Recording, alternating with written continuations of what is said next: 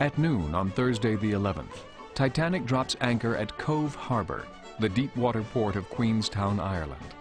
Two tenders, the Ireland and the America, bring aboard port officials, journalists, 120 passengers, their luggage, and nearly 1,500 mail bags. A select group of temporary visitors board here as well. They're local vendors picked by Chief Officer Wilde to sell lace and souvenirs to first-class passengers on the promenade deck during the stop. The arrangement provides vendors with wealthy clientele, and Wilde receives a tip for allowing them to board.